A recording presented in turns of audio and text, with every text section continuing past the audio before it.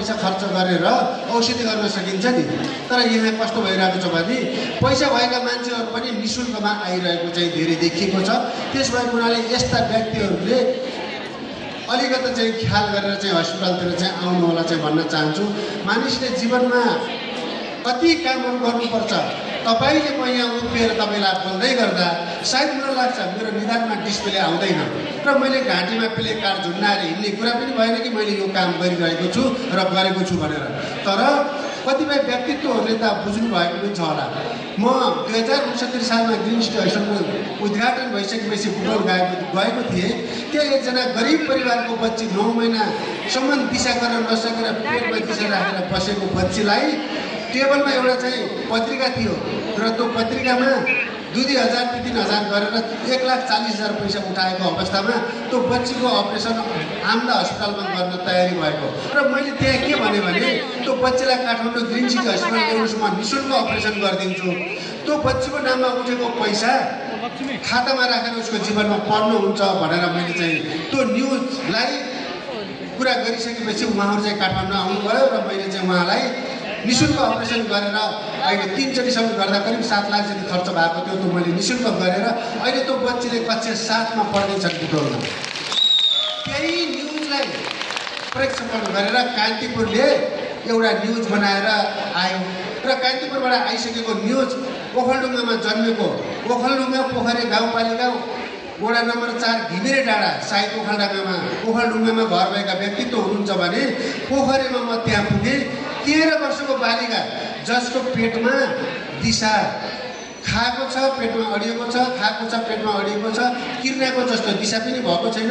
आफूभन्दा आठ फुट अगाडि उनले केही पनि देख्न सकेकी छैनन् र त्यस्तो बच्चीलाई ग्रिन सिटीले चाहिँ निशुल्क अपरेसन गरिदिनु पऱ्यो भनेर चाहिँ मलाई पठाएपछि मैले त्यो बच्चीलाई ग्रिन सिटीमा ल्याएर आठ किलो दिशा निकालेर तिनचोटि अपरेसन गरेर त्यो बच्चीले सात क्लासमा पढ्दै थियो तिम्रो के इच्छा छ भन्दा मलाई जीवनमा तपाईँले जस्तै सामाजिक काम गर्ने इच्छा छ भनेर भन्दै गर्दा मैले उसलाई के भने तिमीले एसी सकेर काठमाडौँ आउनु र तिमीलाई म स्वास्थ्य सम्बन्धीको चाहिँ सब्जेक्ट पढाइदिन्छु र तिमीलाई चाहिँ म चाहिँ गाई ग्रिन सिटीमै नै जागिर लगाइदिउँला भनेर चाहिँ मैले भने र उनले चाहिँ एसी सकेर ग्रिन सिटीमा आइन् र अहिले तेस्रो वर्षको चाहिँ उनले चाहिँ रेडियोलोजी सकेर अहिले मैले ग्रिन सिटीमा उनलाई चाहिँ जागिर लगाइदिएको छु। यदि तपाईँले चाहिँ त्यो बच्चीलाई हेर्न चाहनुहुन्छ भने ग्रिन सिटीमा आएर देख्न सक्नुहुन्छ।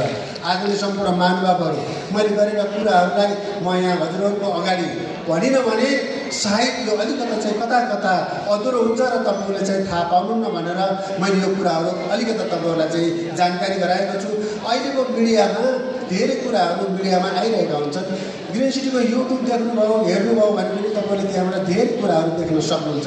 अस्ति मात्रै एकजना रिता शेर्पा जसको तिस किलोको ट्युमर भएर उनले आफ्नै पेटमा चाहिँ राखेर प्लेट राखेर भात खाने आफ्नै पेटमा कपडा धुने र त्यस्तो मान्छे जसले चाहिँ आफू उभिएको ठाउँदेखि दस फुट अगाडि केही पनि देख्न नसक्ने महिला रिता शेर्पालाई ग्रिन सिटीमा ल्याएर तिस किलोको ट्युमर नि शुल्क मैले अपरेसन गरेर उहाँलाई चाहिँ पठाइदिएको छु। विभिन्न युट्युबहरूमा यहाँले चाहिँ देख्न सक्नुहुन्छ।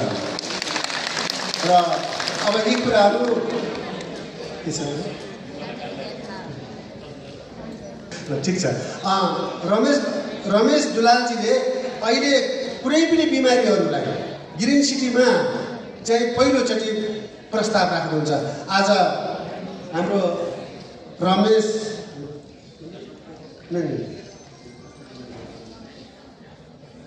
रेशम थापाजी होइन?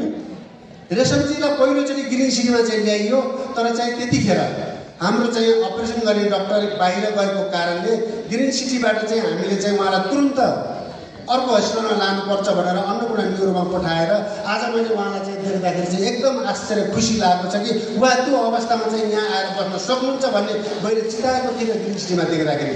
त्यो पनि एउटा चाहिँ भाग्यको कुरा हो। मानिसलाई जीवनमा धेरै कुराहरूका समस्याहरू आउँछन्। र मैले कलाकारिता गर्ने व्यक्तित्वहरूलाई के भन्छु भने तपाईँहरूले गीत गाउँदै हुनुहुन्छ नाच्दै हुनुहुन्छ आँखामा चाहिँ एउटा दौडेर आएर एउटा किरा पऱ्यो भने पनि त्यतिखेर त किराले चाहिँ मान्छेको चाहिँ आँखामा इन्फेक्सन गराउन सक्छ। त्यसलाई चाहिँ हस्पिटल जानुपर्ने हुन्छ। नाक दुखे पनि हस्पिटल कान दुखे पनि हस्पिटल ज्वरो आए पनि हस्पिटल पेट दुखे पनि हस्पिटल। त्यस भएको हुनाले हस्पिटलमा आउनु नपर्नुको लागि कलाकारिता गर्ने सम्पूर्ण व्यक्तित्वहरूलाई अहिले रमेशले मलाई यहाँ के भनिरहनु भएको छ भने कलाकार गर्नुको लागि चाहिँ चालिसदेखि पचास पर्सेन्ट डिस्काउन्ट गरिदिनुहोस् भनेर भन्नुभएको छ। मैले कलाकारिताहरूको लागि चाहिँ फ्री पनि गरेको छु तर एउटा कुरा म यहाँलाई चाहिँ भन्नु जो व्हिल चेयरमा आउनुहुन्छ जो डिसेबल हुनुहुन्छ नि उहाँहरूलाई मैले फिफ्टी पर्सेन्ट ग्रिन सिटी हस्पिटलमा जोसुकै आए पनि ग्रिन सिटी हस्पिटलभित्रबाट मैले फिफ्टी पर्सेन्ट डिस्काउन्ट गरिदिएको छु। त्यो डिसेबल भएका व्यक्ति जो व्हिल चेयरमा आउनुहुन्छ त्यस्ता व्यक्तिहरूलाई चाहिँ गरेको छु। तर त्यो डिसेबलसँग जोड्न चाहिँ कलाकारितालाई अलिकति नमिल्ने भएको हुनाले होइन? एउटै लेभलमा चाहिँ नराखौँ। फ्री नै गर्नु परिन्छ भने पनि गरौँला। तर आज मैले चाहिँ यहाँलाई चाहिँ के भन्छु भने अब कलाकारिताको हिसाबमा कलाकारिता नै भएका व्यक्तित्वहरू चाहिँ धेरैजना चाहिँ आएर ट्रिटमेन्ट गरिसक्नु भएको छ। उहाँहरूको लागि चाहिँ मुटुको अपरेसन त फेरि नै हुने भइसक्यो मैले भनि नै सकेँ होइन?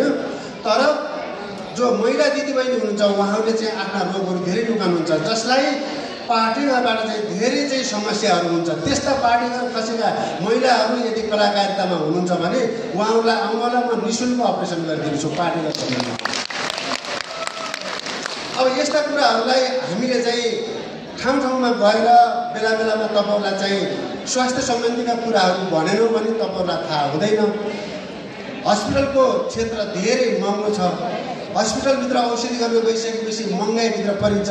किन किन किन महँगो परिन्छ भन्दाखेरि हस्पिटलमा एउटा सानो चाहिँ इक्विपमेन्ट पनि।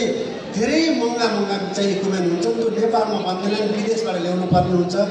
त्यो विदेशबाट ल्याउने औजारहरूले चाहिँ अपरेसन गर्दाखेरि धेरै महँगो हुने भएको हुनाले औषधिको क्षेत्र धेरै महँगो छ। त्यस भएको हुनाले तपाईँहरू स्वास्थ्य रहनको लागि चाहिँ सबभन्दा पहिले खानपानबाट चाहिँ सुरक्षित रहनु होला म यो कुरा यहाँलाई चाहिँ जानकारी गराउँदै कलाकारिताको तर्फबाट कलाकारितालाई जो चाहिँ सक्नुहुन्न उहाँहरूलाई चाहिँ फिर्नी भयो र जसलाई चाहिँ अलिकति चाहिँ हेर्न सकिन्छ त्यस्ता व्यक्तिलाई कमसेकम चाहिँ संस्थाको हिसाबबाट म आजको एज ए चेयरम्यान चालिस पर्सेन्टसम्म मिल्नेमा म यहाँलाई चाहिँ डिस्काउन्ट गरिदिनेछु। आजको यो कार्यक्रममा मैले बोल्ने मौका दिनुभयो। यो कार्य समितिका सम्पूर्ण महानुभावहरू पत्रकार बन्धुहरू सम्पूर्ण मिडियाकर्मीहरू साथीहरूलाई धेरै धेरै धन्यवाद दिँदै म फेरि आज यो कार्यक्रमको धेरै लामो समयसम्म पनि बस्नु नपाउने मलाई चाहिँ आज तुरुन्तै चाहिँ बुटोल जानुपर्ने भएको हुनाले मेरो पाँच बजीको टिकट छ। मलाई चाहिँ यहाँहरूले चाहिँ पक्कै पनि यहाँबाट चाहिँ बिदाई गर्नु नै छ किनकि मलाई चाहिँ बुटोलमा चाहिँ एउटा हस्पिटलकै